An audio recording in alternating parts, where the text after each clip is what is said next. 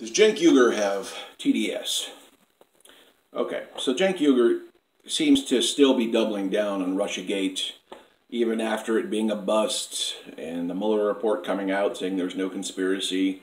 Uh, there's obstruction, uh, there's some emolument stuff, there's a bunch of other things that Trump is totally a criminal for doing, okay? Uh, but the conspiracy angle has fallen to the floor. Rachel Maddow has lost half of her audience. CNN has lost a chunk of their audience. And, you know, it, it's a bust. The conspiracy angle is a bust. That's confirmed. But people like Cenk Uygur, people, people like him who I respect and have respected for a long time for what they've done in the progressive community, you know, to see him do this is very disappointing. And people online are giving him hell for it, as they should, including myself. Um, he does not need to be going down this road. He needs to be focused on the primaries, on Bernie Sanders, on Tulsi Gabbard, on Andrew Yang, uh, and, and, populism in general. But he's not. He's going down this Russia conspiracy rabbit hole. Uh, post Mueller, post we know he we know there's no conspiracy. Okay. How could you even believe it in the first place? How stupid is Trump's team? Trump's team was so full of, of a bunch just losers uh, and crumb dums and shoe clerks, just just the most pathetic people, petty criminals, basically. They're not going to be able to pull off a conspiracy, okay? Just anyone who believed that was an idiot.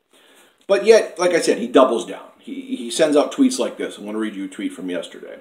Quote, for people saying Donald Trump is not taking orders from Russia, Trump coming out of a call with Putin and changing his language on Russian involvement in Venezuela is not good. If you say that's not at least some evidence against your position, that would seem to be obvious bias. End quote. okay. Perfect example of the kind of tweets that Cenk Uygur has been sending out since the Mueller report came out. He's basically saying here that Donald Trump is is taking orders from Putin because uh, Trump pivoted on something in Russia uh, or in Venezuela after the phone call. I mean, I think at best Putin can influence Trump.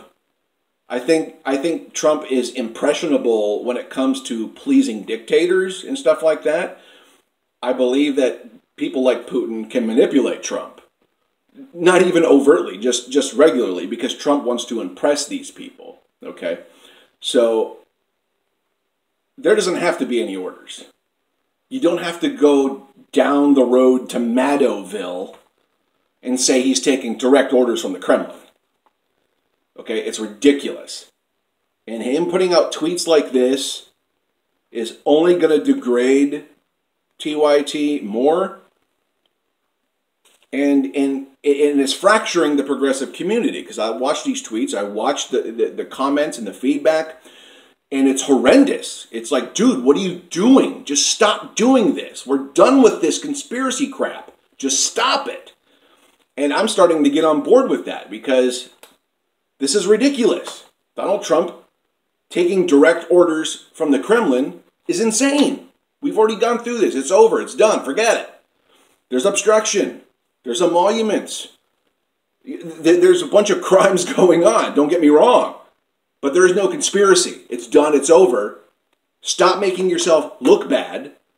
Stop breaking, because it's breaking up the progressive community. And, and the left, as you know, the left eats itself willingly, openly, and often. And stuff like this is only going to fracture the left where the right has no problem coalescing and being tribal and pulling the resources together uh, to defeat their common enemy. The left is over here fracturing, splintering, mutiny over here. It's just, it's, it's ridiculous. And stuff like that, tweets like that, is promoting it. All right, so let me know your thoughts. Leave a comment down below. Like, share, subscribe.